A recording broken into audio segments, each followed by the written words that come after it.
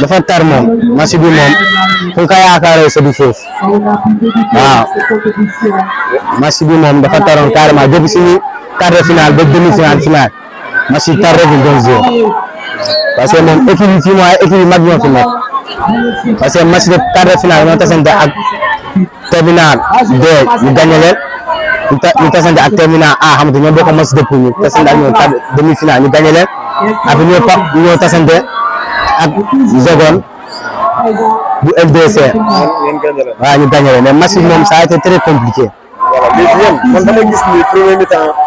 voilà premier mi-temps demoon ngeen ak gars yi dafa amoon équilibre. waaw ma gis ni ci deuxième mi-temps gars yi dañoo ñëw daal seen kaw deuxième mi-temps da ngeen commencé tag gars yi dañoo daal seen kaw lan moo waral loolu.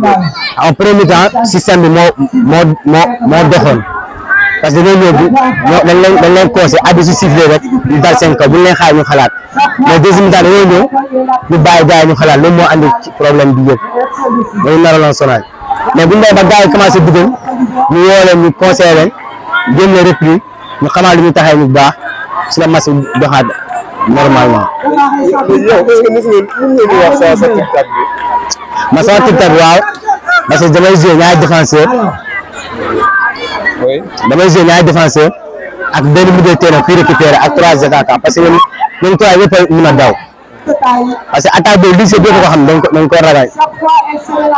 waaw conseil nga am pour sa équipe bi sama équipe bi ah dama leen félicité dama leen félicité